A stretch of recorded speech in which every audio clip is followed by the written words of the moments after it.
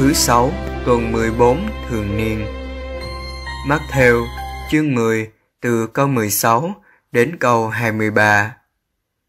Tin mừng Chúa Giêsu Kitô theo Thánh Matthew. Khi ấy, Đức Giêsu nói với các tông đồ rằng: "Này, thầy sai anh em đi như chiên đi vào giữa bầy sói, vậy anh em phải khôn như rắn và đơn sơ như bồ câu. Hãy coi chừng người đời, họ sẽ nộp anh em cho các hội đồng và sẽ đánh đập anh em trong các hội đường của họ. Và anh em sẽ bị điệu ra trước mặt vua chúa, quan quyền vì thầy để làm chứng cho họ và các dân ngoại được biết. Khi người ta nộp anh em, thì anh em đừng phải lo nói làm sao hay nói gì. Thật vậy, không phải chính anh em nói, mà là thần khí của Chúa Cha nói trong anh em. Anh sẽ nộp em, em sẽ nộp anh cho người ta giết, cha sẽ nộp con, con cái sẽ đứng lên chống lại cha mẹ và làm cho cha mẹ phải chết. Vì danh thầy, anh em sẽ bị mọi người thù ghét. Nhưng kẻ nào bền chí đến cùng, kẻ ấy sẽ được cứu thoát. Khi người ta bắt hại anh em trong thành này, thì hãy trốn sang thành khác. Thầy bảo thật anh em, anh em chưa đi hết các thành của Israel, thì con người đã đến.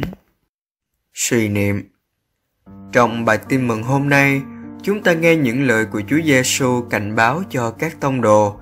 Họ sẽ như chiên hiền lành, không có gì bảo vệ, sẽ đi vào giữa những sói dữ hung hãn. Hơn nữa, ở đây, Đức Thiên Chúa được tỏ hiện trong sự yếu đuối của Đức Giêsu.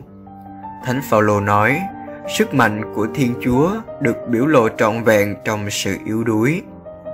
Toàn thể giáo hội đầy dẫy chân lý này, đó là những kẻ bé nhỏ tầm thường làm những việc lớn lao.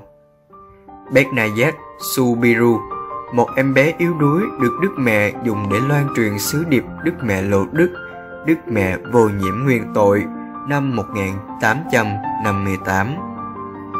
Tôi có thật sự tin tưởng vào sức mạnh của Thiên Chúa, đấng có thể làm những điều vĩ đại trong sự yếu hèn của tôi không? Như thế, khi Chúa Giêsu dạy các ông, vậy anh em phải khôn như rắn và đơn sơ như bồ câu. Người muốn báo trước cho các tông đồ sẽ bị ngược đãi. Nhưng người khuyên các ông đừng đưa thân ra hứng cách vụng về người khuyên ta hãy khôn lanh nghĩa là thông minh khéo léo, tinh tế như loài rắn. Tuy nhiên, ta cũng cần đơn sơ, nghĩa là đơn thành như bồ câu. Không mưu mô, không hậu ý, không giả dối. Cần phải cho thiên hạ thấy, sứ giả tin mừng chỉ chuyên lo phụng sự thiên chúa, chứ không tìm kiếm tư lợi. Chúa giêsu không giấu giếm các tông đồ, là họ có thể bị bắt bớ vì tin mừng và người yêu cầu họ hãy can đảm làm chứng như người. Các tông đồ cũng không cần phải lo đối chất trước tòa án ra sao vì thánh thần sẽ cho biết phải nói gì. Chúa giêsu đề nghị cho chúng ta giải pháp quan trọng nhất trong khi gặp bắt bớ là bền chí đến cùng sẽ được cứu thoát. Khi người ta bắt hại anh em trong thành này thì hãy trốn sang thành khác.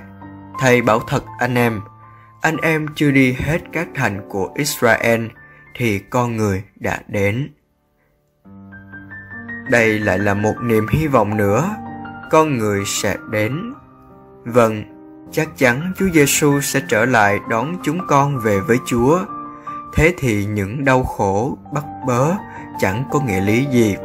Vì chính Chúa sẽ đến ban phần thưởng mà những đau khổ đời này không thể sánh ví được. Chính Đức Mẹ cũng đã nói với Beth Nayet ở Lột Đức, mẹ không hứa cho con hạnh phúc đời này, nhưng ở đời sau.